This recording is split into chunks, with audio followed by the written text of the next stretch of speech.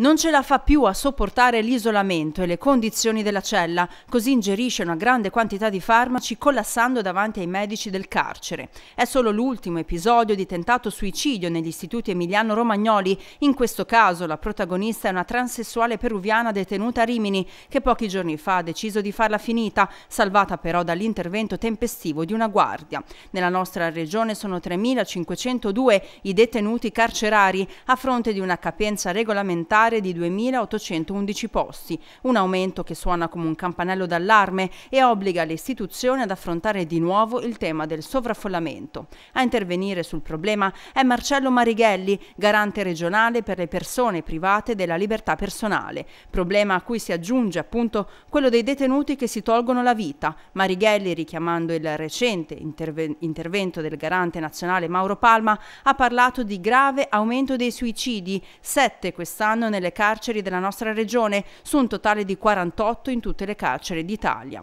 In occasione della presentazione del rapporto sulle condizioni detentive redatto dall'Associazione Antigone, tenutosi a Bologna nei giorni scorsi, Marighelli ha sottolineato anche la presenza di detenute, 163, comprese alcune madri con figli al seguito. Un'altra questione spinosa sul territorio riguarda il numero insufficiente di direttori carcerari, in molti casi impegnati in più sedi, e la carenza di educatori.